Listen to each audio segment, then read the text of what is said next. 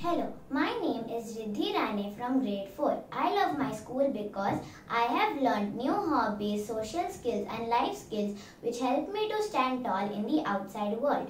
I feel really great when I elaborate a point in front of my friends because now I am able to communicate well. Most favorite of mine is the games period as it is the period which is in the beginning of our day.